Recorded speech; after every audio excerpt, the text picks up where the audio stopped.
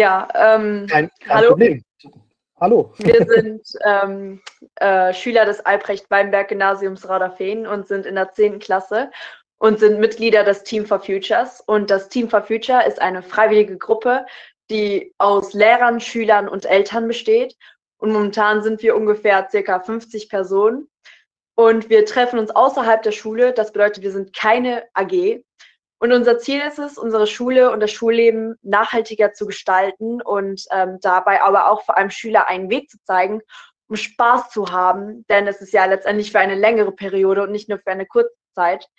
Und ähm, jeder in unserer Gruppe darf Ideen mit reinbringen und alle sind gleichberechtigt. Und um dies zum Beispiel zu erzählen, machen wir Abstimmung.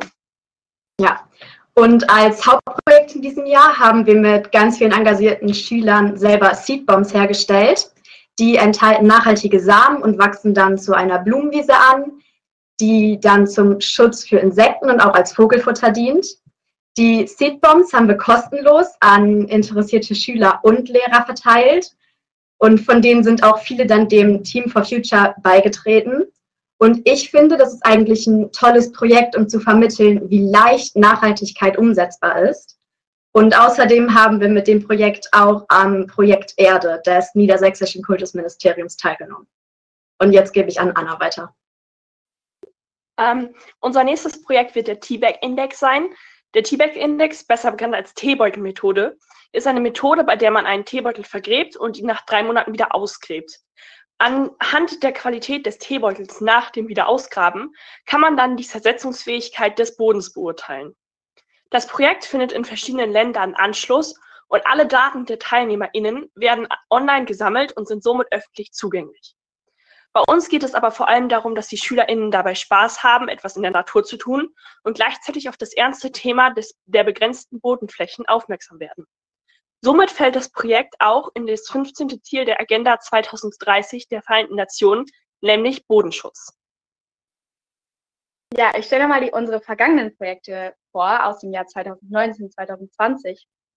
Ähm, am Anfang, als wir so richtig anfingen, ein Team zu werden, brauchten wir ein Logo, ähm, da, womit wir uns zum Beispiel bei Projekten oder Mails an die Schule repräsentieren konnten.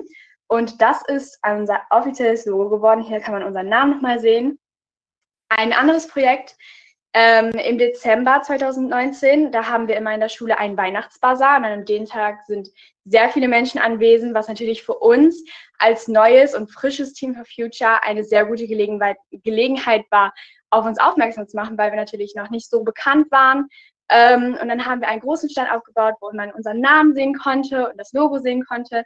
Ähm, und die Menschen, die vorbeigegangen sind, die durften auch so kleine Post-its, durften die nachhaltigen Methoden für den Alltag aufschreiben. Und am Ende haben wir die alle auf ein großes Plakat geklebt, wo das ganze Plakat dann voll hing mit nachhaltigen Methoden. Und das hat super gut geklappt. Und ein anderes Pro Projekt ähm, vor dem Lockdown Anfang 2020 war das Cooking for Future. Ähm, dort haben wir nachhaltige Rezepte für als Alternativen für Produkte aus dem Supermarkt hergestellt. Nicht nur hat das echt richtig viel Spaß gemacht, sondern hat es auch richtig gut funktioniert. Und ähm, das war auch ein Grund dafür, dass wir das für die ganze Schule, Schulgemeinschaft zur Verfügung gestellt haben. Dankeschön fürs Zuhören. Ja, vielen Dank an euch ähm, für diesen Pitch und wie gesagt, auch hier nochmal der Hinweis auf den Spatial Chat, ähm, wenn ihr wollt, könnt ihr einfach gleich versuchen, ähm, euch da nochmal zu connecten, mit anderen Leuten zu sprechen und zu schauen, ob es vielleicht irgendwie direkte Fragen oder Anmerkungen zu eurem Vortrag gab. Dann